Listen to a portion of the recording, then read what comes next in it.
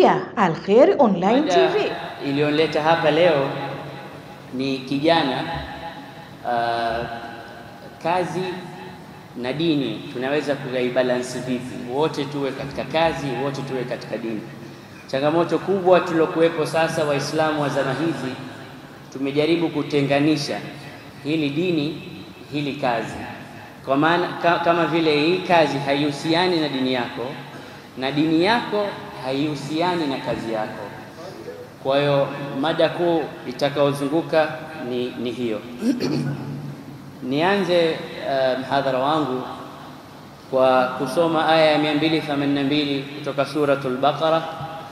Allah anatuambia ya ayuha alladhina amanu idha tadayantum bidainin ila ajalin musamman faktubuhu walyaktub bainakum katibun bil'adl wala ya'ba katibun an, yaktuba kama allamahu Allah. Ila akhir alaya. Mwenyezi Mungu anatuambia enyi mlioamini, mtakapokopeshana mkopo wa aina yoyote au mtakapofanya biashara ya aina yoyote ambayo ina muda maalum, basi andikishianeni mkataba. Naandike miongoni mwenu mwandishi wa uadilifu, na asije akakataa mwandishi kuandika, na andike kama alivyofundishwa na Mwenyezi Mungu, kuendelea mpaka mwisho wa aya. Mara nyingi tunaposoma Qur'an, ndugu Waislamu, huwa tunavyoitafsiri tunaenda moja kwa moja kwenye subject iliyoongelea aya hile. Kwa haraka haraka, subject ya aya hii, ya aya hii au madhumuni ya aya hii ni deni na biashara kiujumla. Lazima tuwe makini tunapoisoma Qur'an. Mwenyezi Mungu ametoa aya nyingi kwa e, angeweza kumaliza miti yote hii na bahari zote kuandika kwenye kitabu hichi cha Qur'an. Kwa hiyo haya machache madogo yaliyoandikwa kwenye Qur'an, basi hata ile wao, hata ile alif lam ina maana yake katika Qur'an, na tutadabbar tunaposoma Qur'an, tusiende moja kwa moja kwenye lengo ambalo Qur'an kwenye aya hiyo. Kwa hiyo kwa lengo la aya hii, aya hii imeshuka ndani ya mwaka wa kwanza, riwaya zingine mwaka wa pili wa Hijiria, leo tuko 1444 mwaka wa kwanza au wa pili, kwa maana Waislamu wengi walikuwa wamehama kutoka Makka kwenda Madina, na tunajua historia iliyokuwa refu kwa Waislamu walipohama kutoka Makka kwenda Madina waliacha mali zao, waliacha kazi zao, wake zao, familia, maisha yao yote waliyaacha Makka, wakielekea Madina kwa hatuna tulicho nao zaidi ya Allah wa rasuluhu. Kwa hiyo walipofika Madina, obviously maisha ya mwanadamu lazima atafute, hawezi kuishi tu pale muda wote, lazima atafute, atafute riziki.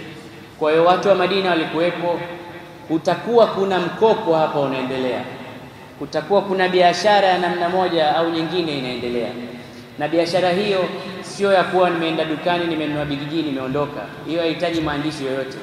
Ni biashara ambayo nakupa mtaji huu, tutaanza hapa, baada ya mwezi fulani utanilipa hichi, nakupa hichi, tunaenda hichi, miezi sita, mwaka, miaka miwili, mpaka sasa ni yako au ni yangu, au mimi nachukua asilimia kadhaa ya, ya faida.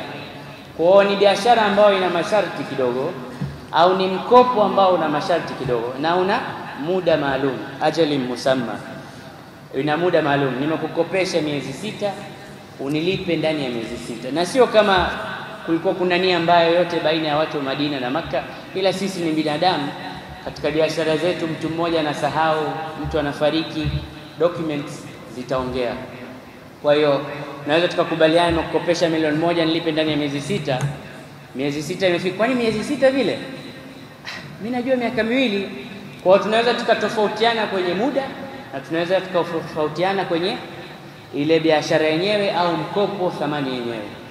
Kwa hiyo Mwenyezi Mungu anatufundisha hapa kuwa tusiingiliane biashara ya namna hiyo au mkopo wa namna hiyo bila kuwa na mkataba.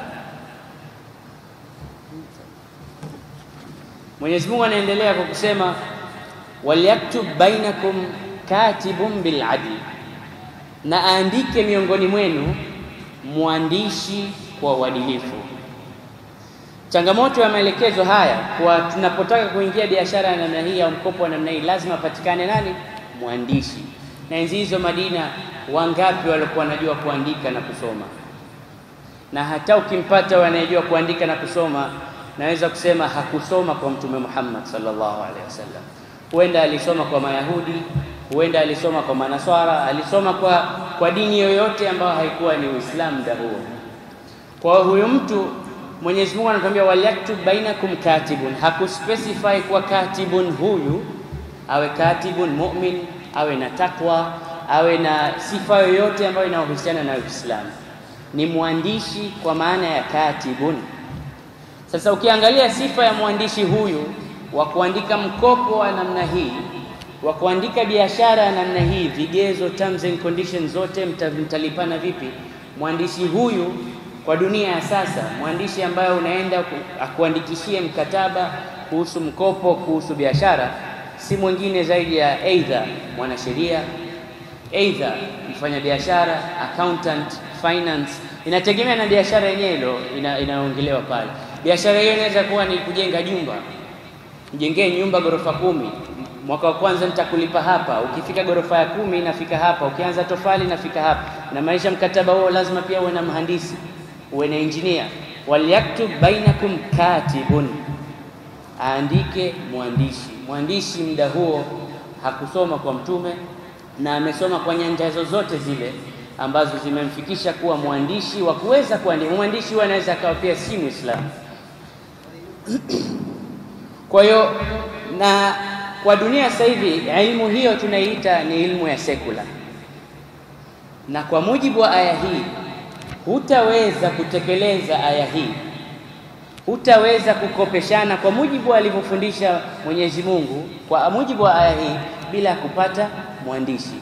Sasa mwandishi Muislamu hayupo, inamaanisha aya hii sitekelezwe lazima apatikane accountant, engineer, e, mwanasheria yoyote ambaye ana fani yake ya kile tunachotaka kuki, kukiandika.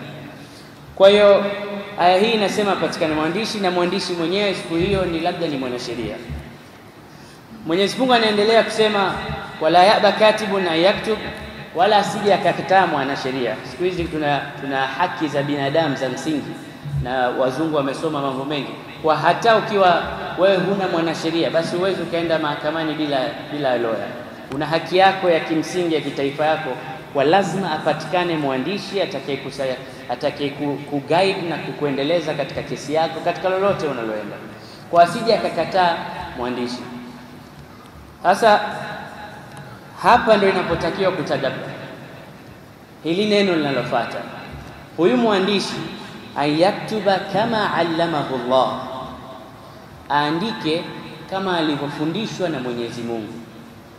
Mwenyezi Mungu mwaka huo Waislamu waliokuwa hapo hawajui kusoma wala kuandika huyo Mungu kaifundisha vipi huu wanasheria wa, wa, wa ujenzi wa biashara wa mkopo tunaoendana nao? Kama Mwenyezi Mungu Arrahman allama alquran, amesomesha Quran, lakini hapa tunaambiwa usifanye mkataba wa namna hiyo bila kupatikana mwandishi. Mwandishi huyo hajasoma kwa Mtume, lakini hapo hapo unaambiwa na mwandishi andike kama alivyosomeshwa na Mwenyezi Mungu. Huyo Yahudi atakayekuandikia mkataba mwaka wa kwanza wa, wa Kiislamu kapata wapi ilmu hii? Na Mwenyezi Mungu anasema kama allamahu kama allamahu Allah. Sasa na, na Mwenyezi Mungu tunajua kwa yeye ndo katufundisha kila kitu. Kwenye suratul Baqara aya ya 151 Mwenyezi Mungu anasema wayuallimukum ma lam takunu taalamun. Kwenye aya hii hii ya 282 mwisho kabisa wa aya hii refu kabisa katika msahafu, ndio aya refu kuliko zote kwenye msahafu. Mwenyezi Mungu anasema wattaqullah wa yuallimukumullah wallahu bikulli shay'in alim. Mwenyezi Mungu ndo anayekufundisheni na yeye ndo kila kitu anakijua. Sasa nataka nikufundisha konsepti moja.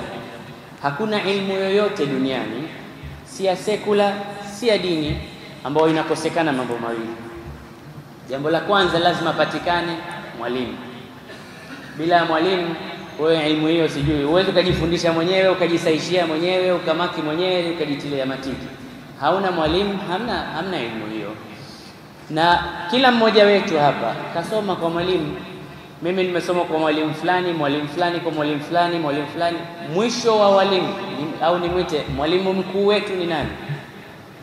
Adam alayhi salam. kwa namna moja au nyingine. Ilmu yoyote utakayoisoma itakuwa imepita kwenye ngazi tofauti mpaka kufika kwa baba yetu Adam alayhi salam, na obviously kutoka hapo tena kwenda miguni, Mwenyezi Mungu mwenyewe anajua alimfundisha vipi Adam. La pili, kwenye ilmu yoyote ile kuna terminologies ambazo zinatumika, kuna majina au maneno ambayo maneno hayo yako kwenye fani fulani. Kwa mfano, kwenye huu huu mkataba wanasheria, mimi nikikupa mkataba sasa hivi usome wa kukopeshana, nenda benki pale kakope mkopo, taka ule mkataba usome peji zote sabini na mbili zile huwezi kufahamu chochote, lazima upate mwanasheria ambaye yeye atafahamu maneno yaliyoandikwa mule ndani kwa mujibu wa fani ya sheria, na si kwenye sheria tu. Ukienda kwenye hiyo biashara, kuna maneno kama liabilities, debtors, creditors. Ukija kwenye engineering, kwenye science, kuna maneno ambayo hayatumiki kwenye lugha ya kawaida ya kila siku, yanatumika kwenye fani fulani. Ukimsikia mtu anaongelea thermodynamics, thrust bearing, propulsion, akiongea maneno hayo, unajua kabisa huyu anaongelea fani fulani. Ili goti hili.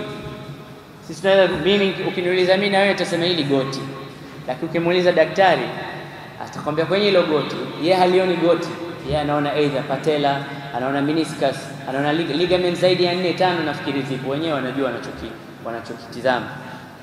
Kwa hiyo kila fani ina terminologies zake, ina majina ambayo yanatumika specifically kwake.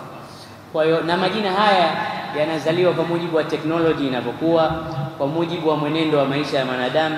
Miaka ishirini iliyopita utaita goti, kwa sababu ya science ilipofika, hauwezi tena kulita goti, lazima uspecify, uende chini zaidi, ubreak down. Ili goti unamaanisha nini? Meniscus, ligament, ligament ya huku, ya kati, ya pembeni, zote hizi ni, ni advancement ya science, inavumbua majina mapya. Sasa nikisema nirudi juu pia kwa majina haya, nirudi kuwa kuna majina haya ambayo tunayo hapa, terminologies zote. Sasa turudi kwenye usuli ya hizi terminology, kwa majina haya yalizaliwa kwa jina hili. Majina haya matano kwenye goti yametoka kwenye goti, goti limetoka kwenye mguu, mguu umetoka umetoka kiwili. Haya majina haya ukiyarudisha pia yamerudi yamerudi yamerudi yamerudi mpaka sehemu ambayo yalikuwepo majina fulani haya majina yakazaa hii kwa mujibu wa utandawazi na teknoloji inavyoenda, kwa mujibu wa mahitaji ya binadamu, tukaona bora tutunge jina jipya, twende twende twende twende. Hii ugonjwa tuliokuwa nao COVID-19 miaka mitano iliyopita, hatujui hasa kuna kitu kinaitwa coronavirus COVID-19.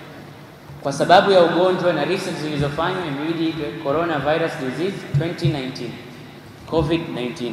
Miaka tano iliyopita, ukimwambia kuna mgonjwa anaitwa COVID-19 hatutambui kwa umezaliwa kwa mujibu wa situation na hali za mwanadamu ambazo zina zinapelekea majina hayo.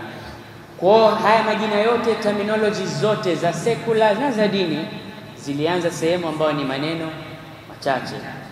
Sasa Mwenyezi Mungu Subhanahu wa Ta'ala anatuambia katika suratul Baqara hiyo hiyo aya ya 31, wa 'allama adama al-asmaa kullaha, na tulimfundisha Adam majina yote ai terminology zote utakazoziona duniani zilifundishwa kwa Adam, ambaye kwa upande ni mwalimu mkuu wetu, kwa upande ndio majina yote unayoyaona haya yalitoka kwa Adam alayhi salam. Na ndio hapo unaona kuwa Mwenyezi Mungu ilmu yote unayoiona duniani imetoka kwa Allahu subhanahu wa ta'ala. Kwa mwaka wa kwanza anafundishwa mtu kuandika mkataba, anaambiwa andike kama allamahu Allah wakati huo huo haijulikani kasoma wapi, toka Adam imetoka.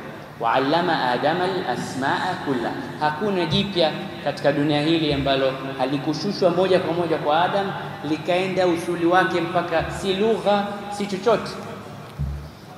Inanikumbusha stori moja, mimi nilipokuwa nasoma chuo kikuu uh, Uingereza nilikutana na jamaa jamaa wazungu tunasoma pamoja kozi tofauti Huyu mtu huyu alikuwa anasoma course inaitwa environmental science, yani sayansi ya mazingira. Katika kuongea naye akanifahamisha kwa mwisho, akaniuliza hivi, wewe umetoka wapi? Maana nikamwambia guess, ah, umetoka Arabuni? Ah, nimetoka Afrika. Afrika eh. Kuna nikamwambia mmetoka Tanzania. Ah, Tanzania mna Zanzibar pale, mna mlima Kilimanjaro, mna hii. Me. Mimi nikaanza kum, kumfagilia mlima Kilimanjaro. Kwa mlima Kilimanjaro wa kwanza Afrika, wa nne duniani, ni mlima pekee. Sasa yeye kwa sababu anasomea sayansi sayansi ya mazingira, akawa ananifundisha yeye sasa kuhusu mlima wangu. Japo mimi nimetoka huku huku. Kwa katika kunifahamisha akaongea, mwisho akaniambia neno kwamba mlima Kilimanjaro umegunduliwa mwaka 1889 na Mjerumani ambaye anaitwa Hans Meyer. Nikamwambia la, ndo sayansi ninavyokwambieni. Eh, nikamwambia haya, nisikilize na mimi upande wangu. Nikamwambia huo mwaka 1889 kuna Masai wanakaa pembeni ya mlima, kuna Wachaga wanakaa pembeni ya mlima, mlima ambao unaonekana kutoka hata Kenya ukikaa unauona. Basi watu wote wale hawajajua kama huu mlima, aje Mjerumani kutoka Germany atuambie huu ni mlima Kilimanjaro, nyinyi labda mlifikiri kanda mbili. Haiwezekani, hamna kitu kama hicho. Kwa hakuna jipya katika dunia hii, kasoro yote alishafundishwa. Hii kutofautisha kuasisi dini hii sekula, mpaka haya mambo madogo madogo tunaambiwa wamevumbua wao, umefanywa sisi summun bukmun umyun fahum la yabsurun. Kwa hiyo kila tunachokisoma sasa hivi ni kitukuu cha maneno yale yale machache aliyoshushiwa Nabii Adam mbele ya malaika, na malaika pia hawakuyajua mengine, kwa mujibu wa aya hiyo ya 31 kwenye suratul Baqara.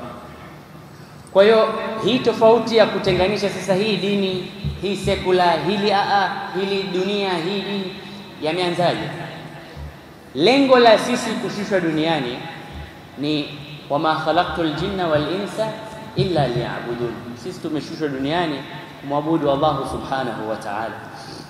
Kwa hiyo katika kuabudu, lengo kuu ni kuwa sisi ni Abdullah, sisi ni watumwa wa Mwenyezi Mungu. Unapokuwa mtumwa, una muda maalum. Kwa sasa mtumwa, sasa hivi uko huru. Kwa asubuhi utakuwa mtumwa, mchana unachukua uhuru wako, unaenda Mtumwa ni 24/7. Wewe ni kazi yako mpaka siku utakaopata uhuru. Na sisi Waislamu tunaamini hatuna uhuru hapa duniani, tumeletwa kama watumwa, na mtumwa ni 24/7. Sasa imani yetu inatuambia tunajitahidi kuswali, kuja msikitini, kuja kama hivi kwenye mihadhara tofauti. Tunasahau kuwa tunapotoka hapa hatujamaliza utumwa wetu. Utumwa wako sio kwenye swala unapokuwa njiani unapokuwa nyumbani, unapokuwa unatafuta riziki, unapokuwa unapokuwa na mkeo, unapokuwa unacheza na mwanao, yote hayo bado wewe uko katika hali ya utumwa wa Mwenyezi Mungu. Kwa amali zako zote zile pia zina count mbele ya Mwenyezi Mungu. Kilugha, mtu anapokuwa anaabudu anaitwa abidun na mtumwa anaitwa abdun. Sisi mchanganyiko wote huu umekuja baina ya kutofautisha. Sasa unapokuwa abidun, yani wewe unapokuwa unaswali, unapokuwa umefunga, uko Makka, uko wapi, pale tu wewe ndio unafanya amali kwa ajili ya akhira yako. Unapotoka kwenye state ya abidun, unapokuwa abdun, sasa wewe tena kila unachokifanya wewe ni dunia yako hiyo, unapoteza muda wako, hamna chochote utakachopata, wala kwa Mungu huna chochote, unapoteza kila kitu unapokuwa mtumwa. Tuna haya mawili ni sawa sawa. Sasa hii abidun na abdun imekuja mpaka imezaa neno la kuwa hii ni dini, hii ni dunia. Napocheza na mwanangu, mtu anapokuwa eti ndo kawa shekhe sana, basi hachezi na mwanaye. Ah, hii mambo ya, ya dunia haya. Hii abdun, usisahau wala tansa nasibaka mina dunia, usisahau upande wako wa dunia. Kwa hiyo mchanganyiko mzima huo imekuja tunapotofautisha abidun na abdun tunaweka ni vitu viwili tofauti, wakati ni jambo ni hilo hilo. Kuna muda wa kuwa abidun na kuna muda wa kuwa abdun. Swali utakavyoswali, lazima ukakae na mkeo, mwisho wa siku lazima ukae na wanao, lazima ufanye discussion ambazo zina, zinaendelea kwenye, kwenye maisha yako. Kwa concept nzima hii tumeibadilisha kwa dini na dunia, sio sekula na, na nini tena, imekuwa dini na dunia lakini hamna ilmu zote na mambo yote tunayofanya 24 hours za maisha yako zote ni za Mwenyezi Mungu. Hii concept imekuja juzi juzi tu hapa Karne ya 17 changamoto kubwa ilitokea kwa upande wa wenzetu, upande wa pili, kiasi cha kuwa wakatenganisha kanisa na ilmu ya sekula. Watu ambao walikuwa wanaleta maoni ambayo ya kisayansi, hata kina Albert Einstein, kina, kina Newton, eh, Newton wote Isaac Newton wote hawa walipoleta ideology ambazo zinaendana na, na zinatengana na Biblia na mambo mengine na vitabu vingine, kaonekana nyinyi amfai, mnaleta sayansi hapa mbele ya dini. Kwa hiyo ikaanza kutenganishwa polepole, kwa huyu siye mwabudu, huyu sio Muislamu, huyu sio hivi, huyu sio vile, kwa sababu ya sayansi yake, tofauti na Qur'ani yetu inavyotwambia, kuwa awalam yasiru ila al-ardhi fayandhuru kaifa bada Allahu al-khalqa thumma yu'id. Qur'ani sisi inatupa challenge kwa em, nendeni mkaangalie Mwenyezi Mungu alivyoumba, msikae tu kuamini, nendeni. Hasa utaenda kuangalia Mwenyezi Mungu alivyoumba bila kutumia science, na hiyo ni challenge ya, ya, ya Qur'an. Hii Qur'an iko kwa ajili ya ulil albab, ina fi dhalika laayatin liqaumi yatafakkarun, wenye akili ndio wa, wa, watumie hii Qur'an. Sasa kwa upande wa wenzetu, kila aliyeleta challenge ambayo nyinyi dini inasema hivi, lakini sayansi inatuambia hivi, ikiwa tofauti, huyu hafai. Kwa hii maradhi ma, haya yamekuja mpaka kwa Uislamu kuwa sekula ni sekula na dini ni dini, na inaturudisha nyuma sisi Waislamu kama umma. Kutenganisha hiyo inapeleka mpaka watu wengine wanafanya kazi nzuri, wanapata uh, ajira nzuri, wanakuwa profesa wa science, anakuwa profesa wa PhD kwenye jambo fulani, mimi sijamfanyia Mwenyezi Mungu jambo lolote. Basi naenda naenda, akirudi dini huku, ah, wewe mtu wa kazini bwana, usije huku, usije kwenye mhadhara bwana, wewe PhD yako ya, ya sayansi huko haitusaidii.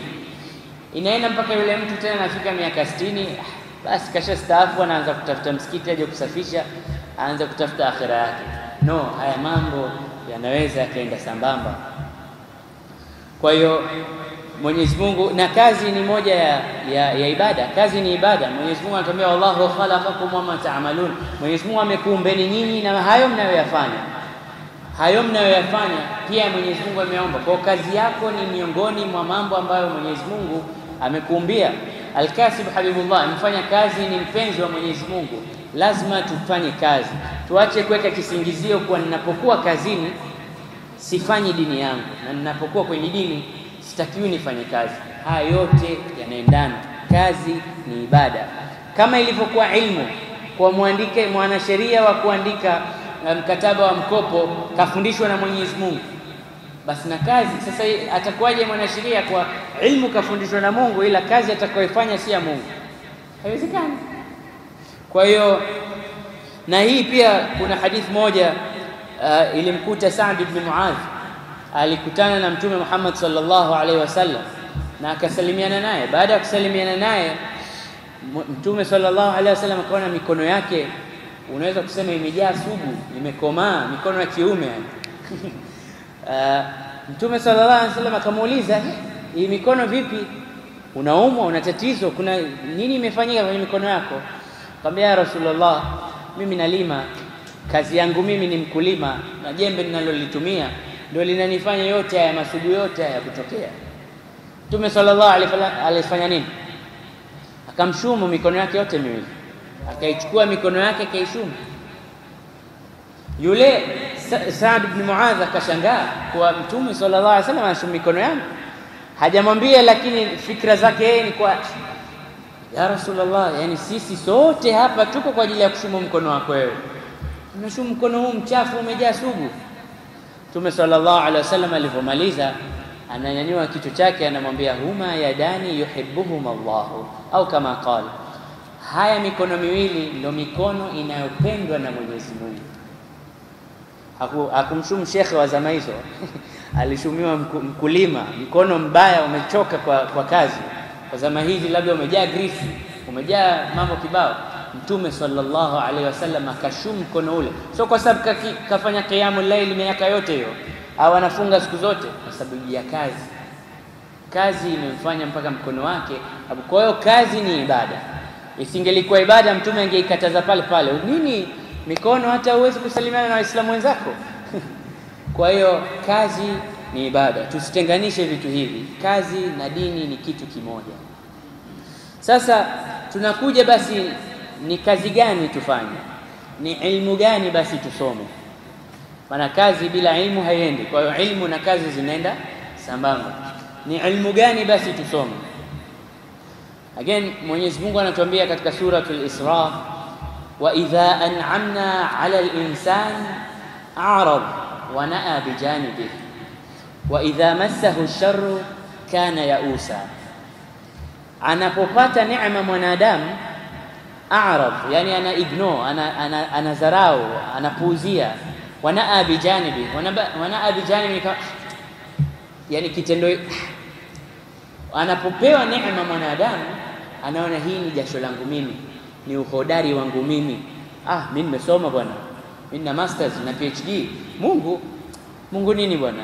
Ndio binadamu tunalofanya. Ile neema yake anaona ni jitihada yake, kapambana, kakesha usiku kucha kupata maksi hizi, sio kama Mungu kamsaidia chochote. wa idha masahu sharu kana ya usa na anapokutwa na jambo baya sasa la shari kana ya usa, anakuwa amenyong'onyea, ana huzuni, anavunjika moyo, anaona kuwa sasa hili Mwenyezi Mungu sijui kanitakia nini, navyomwabudu vyote hivi hivi, swala zote hizi mimi naacha samaki pale, naacha kazi, naacha hivi, naenda kuswali, basi hanionee huruma. Kwa hiyo kwenye neema ni juhudi yake, kwenye shari, ah, Mwenyezi Mungu siku hizi imekuwa tabu, siku hizi yaani swala zote hizi. Kwa hiyo Mwenyezi Mungu anasema unaanza kufikiria kuwa juhudi yako ndio inakupa neema, na Mwenyezi Mungu tuna mikosi ndio inakupa shari.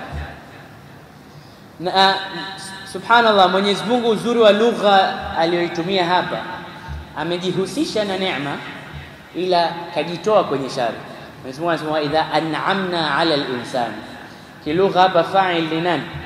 Fa'il ni Mwenyezi Mungu. Wa idha an'amna ala al-insani wa idha an'amna ala al-insani arad, yani mimi ndo faili, yani Mwenyezi Mungu ndo faili, yeye ndo anaileta ile neema. Lakini wa idha massahu sharru, na atakapokutwa na shari, faili hapa ni ile shari yenyewe. Wa idha massahu sharru, kwa fa'il ni shari. Mwenyezi Mungu hajiweka sambamba na neema, lakini hajajiweka sambamba na shari. Sisi tunaamini Waislamu kwa shari na neema zote zinatoka kwa Mwenyezi Mungu. Ndio maana katika nguzo ya sita ya imani wa bil qadri khairihi wa sharrihi min Allahi ta'ala, ni kuamini kwa kadari ya Mwenyezi Mungu, iwe nzuri iwe mbaya, umetoka kwa Mwenyezi Mungu Subhanahu wa Ta'ala. Na mambo mengine yanatokea, sometimes tunaona hili ni zuri, kumbe baya. Unaweza ukaona wewe ni neema, kumbe ni shari, Mwenyezi Mungu akupe mtihani. Na unaweza ukaona hii ni shari, Mwenyezi Mungu anifanya mabalaa gani haya, lakini kumbe ni neema kwako. Maana katika suratul Baqara pia Mwenyezi Mungu anatuambia wa asa an takrahu shay'an wa huwa khairun lakum wa asa an tuhibbu shay'an wa huwa sharrun lakum. Unaweza ukapenda kitu kumbe ni shari kwenu, na unaweza ukachukia jambo kumbe ni kheri kwenu. Sasa Mwenyezi Mungu anatuambia katika aya inayofuata, qul kullun ya'malu ala shakilatihi, na hapa ni patamu sana kwa mujibu wa mada hii nzima waambie kila mmoja wao ajaribu kufanyia kazi shakilate, mambo yake, yani concentrate na mambo yako wewe, usiangalie ya mwenzio. Neno lilotumika hapa ni shakila. Shakila tafsiri yake ni, ni form au shepu, yani ni kama umefinyanga kitu hivi, kile kitu sasa ndo shakila, kina shakili ile. Kwa hiyo shakila kwa lugha nyingine, kwa sisi mwanadamu inaweza kuwa ni tabia zako, ni uh, personality yako, kipaji chako, strength ya nguvu zako, mapungufu yako, weakness zako, hizi zote zinaingia kwenye neno shakila. Kwa Mwenyezi Mungu anatuambia kullu ya'malu ala shakilati, kuanzia maumbile yako, kila mmoja a concentrate na nini, shakila yake, concentrate na na mambo yako na juhudi zako na kipaji chako. Sasa ukitizama mtiririko haya hizi mbili, huku kampa neema na kaiongelea shari, afu kila mmoja afanyie kazi shakila yake. Ukiangalia Qur'an kwa ufasaha ule naosema, kwa usiangalie tu point aliyoisema, angalia kwa nini kaeka maneno haya hivi alivyoweka.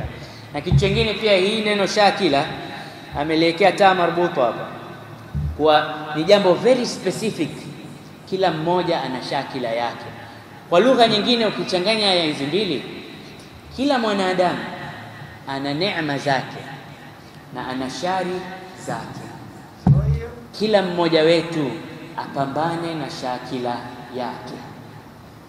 Kila, we, kila mmoja wetu ana fursa zake, ana riski zake, ana mkewe kaandikiwa, ana kila kitu, kheri na shari zote zimeshaandikwa. Sasa wewe jidanganye, mtizame kheri ya yule ukasema na mimi niipate, utaumia ndugu yangu. Kila mmoja ana kheri yake, kila mmoja ana fursa alizoandikiwa na Mwenyezi Mungu, kila mmoja ana shari na changamoto alizoandikiwa na Mwenyezi Mungu. Fursa zako wewe haziwezi kufanana na fursa zake yeye. Yeye labda anaweza akawa injinia akaja kutokea kuwa injinia mzuri kabisa, wewe ukaona lakini mtoto fulani kawa injinia na mwanangu inshallah awe injinia. Atakuwa injinia, atapata tabu maisha yake yote. Umeiga, fata kipaji chako. Wewe umezaliwa unapenda hesabu, fata hesabu ndugu yangu. Wewe umezaliwa una sauti nzuri, usitafute mengine, nenda kwenye sauti yako, soma Qurani, ingia kwenye tajwidi kama Sheikh Hassan hapa, hakutafuta mambo mengine pale. Fiki ipo, najua imetulia, lakini sauti ndo kaenda zaidi. Kwa kipaji chake ni sauti, na kumtafuta sauti. Sasa wewe umeandikiwa, una, una kipaji cha kuweza kufanya vitu kwa mkono wako, usililie kusoma, usililie. Wewe umeandikiwa mkulima fani yako hiyo usione aibu nayo. kullu ya'malu ala shakilati, fanyia kazi kipaji chako. Na siku hizi wengine ndo Mwenyezi Mungu atulinde na maradhi haya, fursa za mwingine inakuwa changamoto ya mwingine. Yani, yani mwenzangu kapata fursa, mashallah, kawa injinia mzuri ndio kama hivi. Mfano nijitule mfano mimi nishakuwa nimepata fursa ya kuwa mhadhara, imekuwa changamoto kwa mwingine kwa mwingine fulani kawa injinia, hatutalala mjini, shakuwa tabu. Ah, yule anapata, acha hasad, maradhi magumu, nani akurudia yeye mwenyewe? Kullu ya'malu ala shakilati, kila mtu afanye kile kipaji ambacho Mwenyezi wewe Mwenyezi Mungu akujalia msemaji, kama msemaji. Wewe Mwenyezi Mungu akufanyia mtendaji, kama mtendaji. Hatuwezi wote tukawa mainjinia. Sasa tukiumwa hata tutibu nani? wote sasa hivi tujalie, ndio tumekuwa mashehe. Hizi kamera zinazoturekodi ndio zime, zimefanya ikhtilafu sasa hivi. Anatakiwa fundi umeme, anatakiwa mtu wa electronics. Haya wote ndio mashehe. Kullu ya'malu ala Mwenyezi Mungu ameweka balance ya kuwa fursa za huyu si za huyu, neema za huyu si za huyu. Kila mtu afanyie kazi neema aliyoandikiwa na Mwenyezi Mungu na atatue changamoto alizoandikiwa na Mwenyezi Mungu. Kuna watu mimi najua, si mmoja si wawili. Kuna mtu labda anafuga ng'ombe, anaanzisha bucha yake, kaanzisha biashara yake ya bucha, maskini kaeka milioni kumi, kumi na tano mtaji wake, kakopa, kaanza. Mwenyezi Mungu anampa riziki, wewe kaige, tafuta hiyo milioni kumi na tano kaeke naye busha. fanya kwa mujibu wa kipaji chako. Unaweza wewe bucha, unaweza usipige tu hesabu kilo ngapi, steki ngapi, fileti. ayaya Jamaa anapata milioni tano yule kwa mwezi, mimi milioni tano inanitosha. Kajaribu, watakufa kila siku ng'ombe pale, upate chochote. Usiige, fanya kwa mujibu wa kipaji chako. Kwa hali kadhalika hiyo itupe sisi e, utulizo katika moyo. Alafu Mwenyezi Mungu anaendelea kwa, kwa kusema uh, katika sura nyingine, Suratul Lail, Mwenyezi Mungu anasema inna sa'yakum la shatta, hakika juhudi zenu zitaleta matunda tofauti. Huyu anaweza akalima mpunga hapa akatoa gunia kumi za mchele, wao kalima mpunga hapo hapo usitoe hata gunia moja, na wadudu wakaja wakaacha shamba lile wakaja. Inna sa'yakum la shatta, kila mtu juhudi zake zitalipo tofauti atakavyolipwa yule. Usiseme mimi nikisoma masaa mawili, yule fulani hata kwenye shule anasoma yeye masaa mawili tu anapasi, na mimi nitasoma masaa mawili nitapasi. Kuna mtu anakesha usiku mzima hapasi kuna mtu anachezesha watu wote darasani, lakini yeye ndo anapasi. Kila mmoja ana shakila yake, kila mmoja ana fursa zake, ana kipaji chake, ana neema zake. Wala usijidanganye kuliga neema za watu. Wewe concentrate, Mwenyezi Mungu kanipa kipaji gani mimi, na hichi kipaji ndio nitakifanyia kazi. Mwenyezi Mungu anamalizia katika aya hiyo kwa kusema farabbukum a'lamu biman huwa ahda sabila, Mola wenu ndio anajua nani alioongoka zaidi kwenye njia.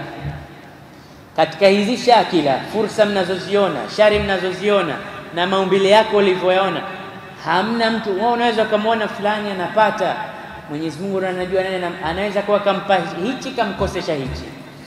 Kwa tuweke nyoyo zetu na nyoyo zetu uh, kwa, kwa, kwa utulivu, tusitizame ya watu fa warabbukum a'lamu biman huwa ahda sabili, na hajasema ahda sabili kwa kuna njia moja tu, kwa ukitaka uongoke wewe fata njia hii. Nasema sabila kwa maana kila mmoja ana njia yake, kila mmoja ana mafanikio yake. Mafanikio ya huyu hayawezi ku... kuna mtu anaweza hapa sasa hivi, kuna mtu labda anaota anatamani siku moja awe bosi kazini kuna mwingine anatamani ile akipata kuuza tiketi tu kafi, alhamdulillah, kashashukuru. Kuna mtu anatamani kuwa baharia tu, kuna mwingine anatamani kuwa kapteni. Kila mmoja ana neema zake, kila mmoja ana shari zake. Wote tu concentrate kwenye shari zetu na neema zetu, na Allahu subhanahu wa ta'ala a'lamu biman huwa ahda biman huwa ahda sabila. Mwenyezi Mungu ndo anajua nani mwenye mafanikio katika hilo. Sasa ukishakijua kipaji chako ndo ushamaliza kazi. Kazi haijaisha. Huwezi ukasema ah, mimi hey, Mwenyezi Mungu kanipa sauti hiyo, hata nikiongea tu sauti nzuri, ndio ushamaliza kazi. Kuna jitihada lazima uweke ndani na, na, na, na kipaji chako. Talent bila kazi useless. Wewe umejaliwa talent uh, un, ni mchezaji mzuri wa mpira mashallah, toka udogoni, lakini ufanye mazoezi, una pumzi, una talent yako useless. Lazima uweke jitihada. Wewe umejaliwa mahesabu toka udogoni, kwa ukimulia elfu mbili shingapi shingapi, imebaki shingapi, imebaki mia saba wewe mpaka utoe calculator huko. Talent anayo, jitihada ipo, kwa lazima tuweke jitihada. Vijana ni lazima tuweke jitihada katika kazi zetu pamoja na elimu yetu. Vijana wa siku hizi, niliseme hili jambo, tumejilemaza sana vijana. Said, kuna vijana mimi nawajua wengine, siwezi kutaja majina, lakini toka asubuhi anacheza gemu gemu na yeye PlayStation hizi, alokuwa hana anaweza akaenda akalipa sehemu na sio kwa kuwabania riski wanaokodisha hizi sehemu, lakini toka asubuhi mpaka jioni, wewe game tu game. Na wewe una fani gani kwenye maisha yako wewe? Halafu akitoka hapo akirudi nyumbani, ndio internet sasa imetulia, watu wa makazini washatulia, movie mpaka alfajiri.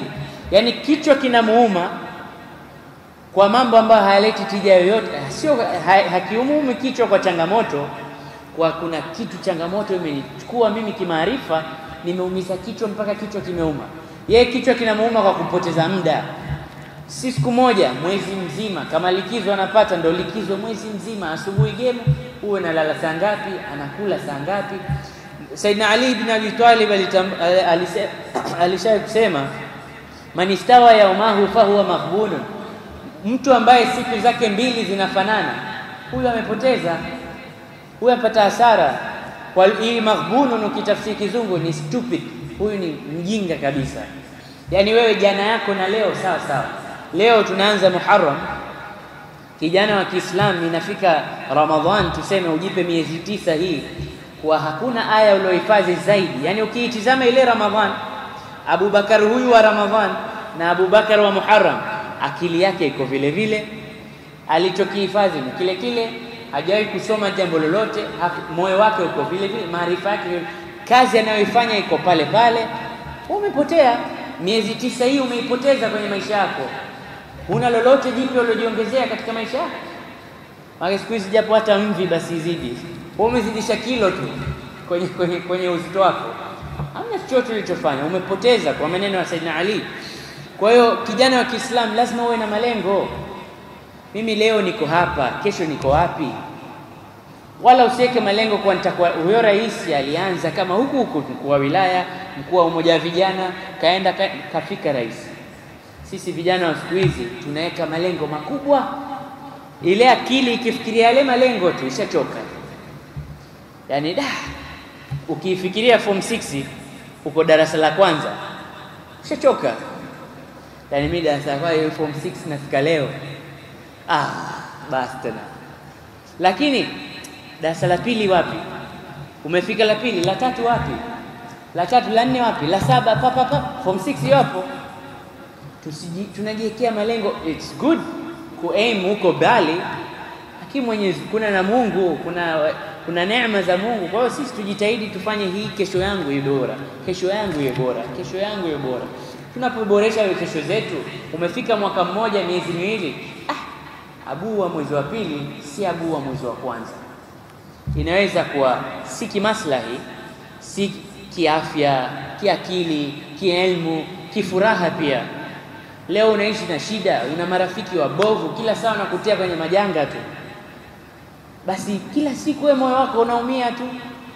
Lazima ifike kipindi ambao marafiki hawa basi, abuu wa jana si abu wa leo.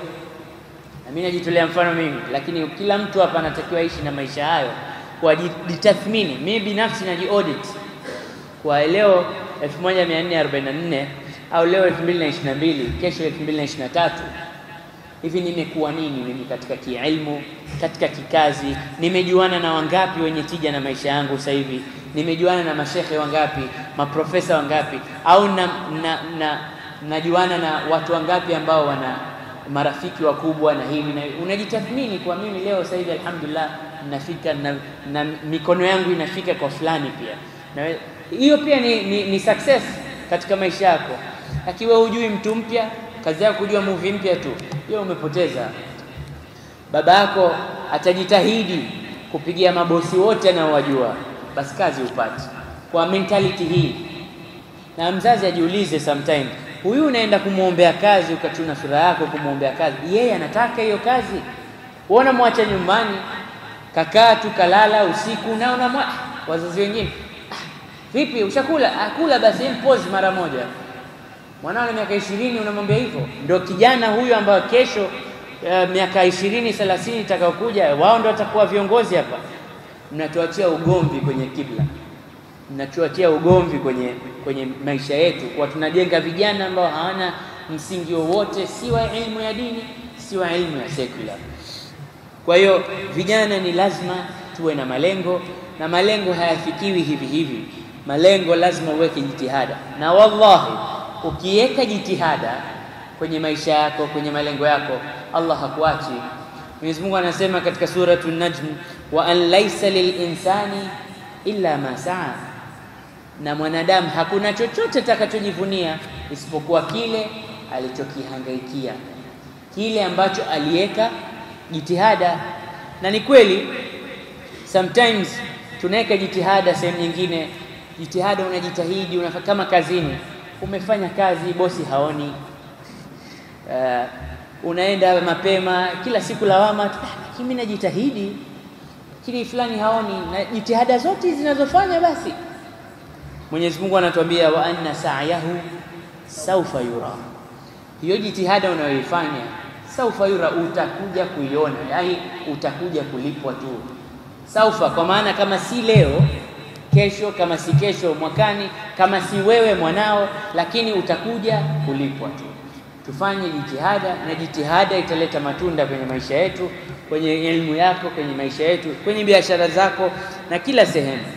Tatizo kikubwa ambacho tunayo sisi vijana au binadamu kiujumla, binadamu sisi ni watu ambao tunaangalia matokeo, hatu concentrate sana kwenye jitihada sisi tunaangalia matokeo tu moja kwa moja, result inasemaje. Ndio maana ukimwambia mtu ukitaka kuwa ku, kuwa shekhe unatakiwa yeye ile huku hataki kule, anataka kishatizama video mbili tu YouTube kashakuwa shekhe. Kwa sababu gani? Anataka matokeo, ile ngazi ya kuipanda kufika kwenye yale matokeo hatuitaki sisi wanadamu. Ukimwambia mtu ukitaka kuwa engineer ufanye moja mbili tatu kwa nini vijana wengi siku hizi form 6 tukaacha shule, anatafuta kozi ya miezi miwili aanze kazi?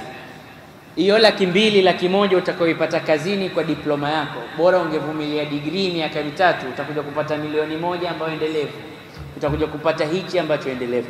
Tuna ignore kuweka effort kwa nia ya kupata matokeo, na sisi binadamu ndio tulivyo, tuna concentrate sana kwenye results, hatuangalii jitihada. Nikupeni mfano tu mmoja au miwili. Unapoleta CV yako kwenye kazi, mimi ndo nipo pale, au mtu yoyote manager wa pale anaangalia ile CV. Wewe kwanza, mwandikaji, ile CV huweki jitihada wewe unaweka matokeo tu. Nilienda chuo fulani nikapasi A B C A A A, ukaweka zote zile za uongo na kweli. Uh, nikaenda kufanya kazi sehemu fulani, walinichagua kwa mimi ndo meneja mkuu pale, matokeo yote hayo. Lakini ni kweli hakuna mtu anaweza kwenda akasema mimi nilisoma form 6 shule fulani, maksi zangu nimefeli, lakini kiukweli nilikuwa silali mimi nasoma yaani ule mtihani ule wa mwisho ule mimi nilikesha, lakini ndio hivyo, bahati mbaya. Hakuna mtu atakayeandika jitihada, mtu anaandika matokeo.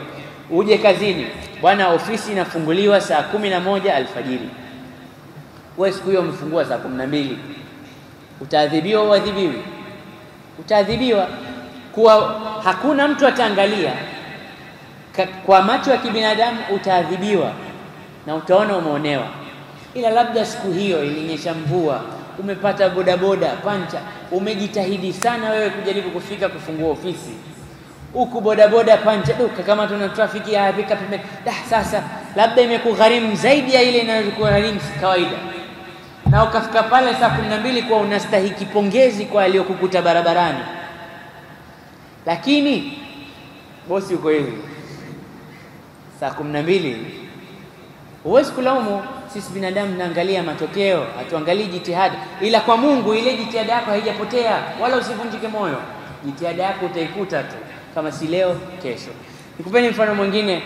Juzi hapa ligi yetu Tanzania imeisha, tunajua bingwa nani. Sasa wewe ukikaa kama shabiki wa Simba au Simba ukasema ah, Yanga kachukua, lakini Simba bwana wamepiga mpira bwana hayo maneno ya kwenye magazeti tena. Yanga kachukua, matokeo ni nani? Bingwa kachukua. Wewe hayo uliojitahidi huko, sisi binadamu hatujali tena bingwa nani, tunaangalia. Kwa hiyo sisi binadamu tusivunjike moyo kwa jitihada zetu. Tunajua tunapenda kuona matokeo, lakini matokeo yasipotokea, mithali wewe umeweka jitihada, Mwenyezi Mungu atakulipa jitihada yako, wala usivunjike moyo. Vile vile uh, Mwenyezi Mungu anatuambia katika aya inayofuata, thumma yujizahu jazaa al-awfa, kisha tutamlipa mwenye jitihada hizi jazaa al-awfa, malipo ya kikamilifu. Hili jambo lingine la kuangalia, hakusema jazaa al-husna, kwa maana si kila jitihada utalipwa mema, utalipwa kikamilifu kwa mujibu wa nia ya jitihada yako. Kuna watu wengine makazini wao hata hawana jitihada yoyote, wao kazi yao mdomo tu, au wapambe tunawaita wengine. Anaenda hivi hivi, wewe umefanya kazi, yeye kachukua mdomo, umeona pale, basi pale tumefanya, tumejitahidi, imemaliza bwana, sifa kachukua yeye, jitihada umefanya yeye, wala usiwe na wasiwasi. Mwenyezi Mungu yupo, thumma yujzahu aljazaa alawfa, utalipwa malipo ya kikamilifu sio mazuri kwa wewe. Ukiweka jitihada ya kinafiki leo, utaona kwa macho ya kibinadamu, nimepata nimepata, wallahi utaporomoka kama jiwe. Mwenyezi Mungu atakuja tu na wewe ambaye unaona da, matokeo ndo kachukua yule, jitihada nimefanya nini?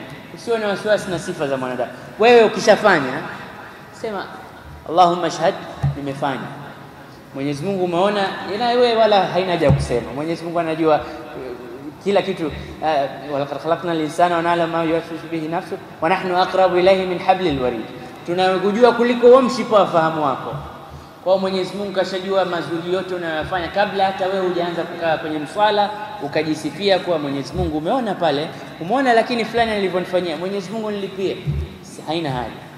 Thumma yujzahu aljazaa alawfa, utalipwa. Kama umeweka jitihada mbaya, utalipwa.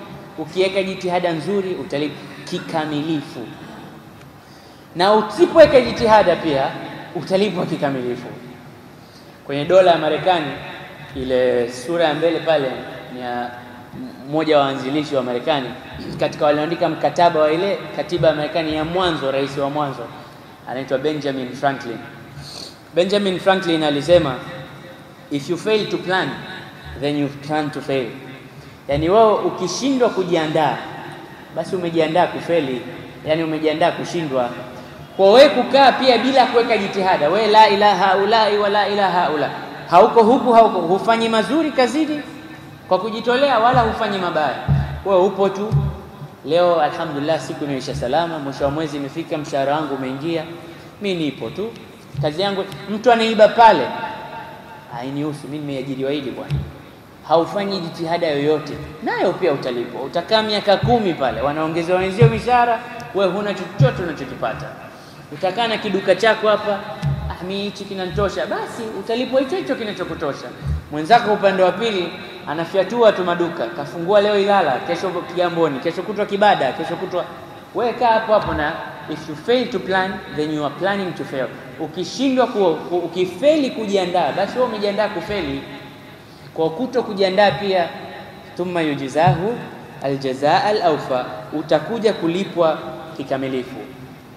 Jambo lingine ni nukta nyingine niitoe kwa an Aisha radhiallahu anha qala Rasulullah sallallahu alaihi wasallam, bibi yetu bibi Aisha alipokea hadithi kutoka kwa Mtume sallallahu alaihi wasallam inayosema inna Allaha yuhibbu idha amila ahadukum amalan an yutkinahu, Mwenyezi Mungu anampenda mja ambaye anapofanya kazi, sio anapofanya ibada, anapofanya kazi anyutkinahu, anaifanya kwa perfection, anaifanya kwa uzuri, kwa, kwa maboresho. Unapotumwa kwa wewe kaendeshe kitu fulani, mimi silimali niendeshe. Ah, kwani kupaki gari unaweza ukasema huyu kapaki, lakini huyu jamaa dereva, au sio? Huyu jamaa kapaki na huyu dereva. Huyu kapaki ile mradi limekaa tu pale, lakini huyu dereva kaeka matairi akaeka sawa. Wewe umepaki tairi umeziacha hivi hivi idha amila ahadukum amalan an yutkinahu, ifanye kwa boresho. Utakaa hapo na jitihada zako bila kuboresha, utapata malipo ambayo hayaendani na kazi yako.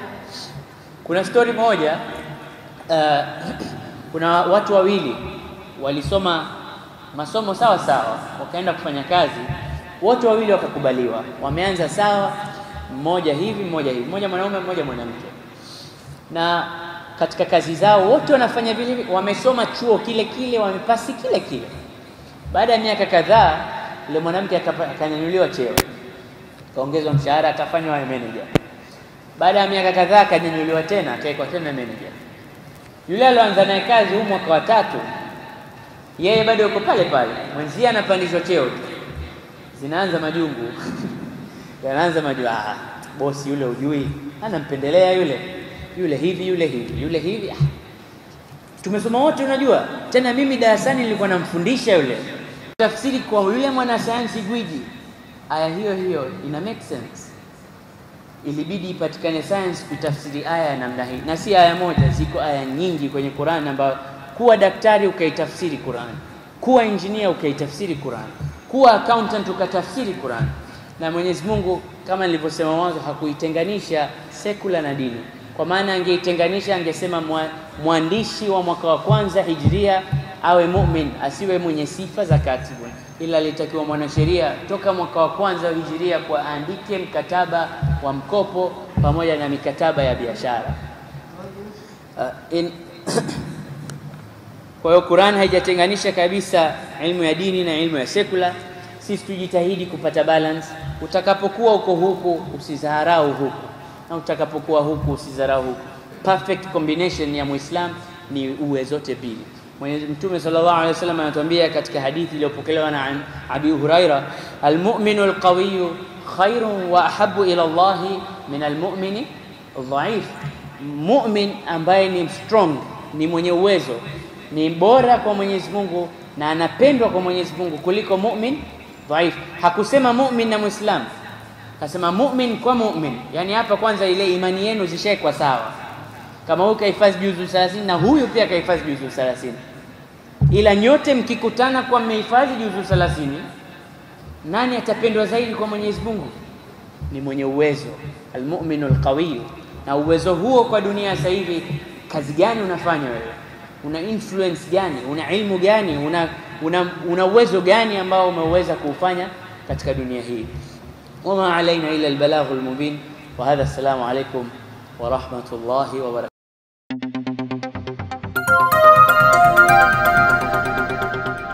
Unaangalia Alkhair Online TV.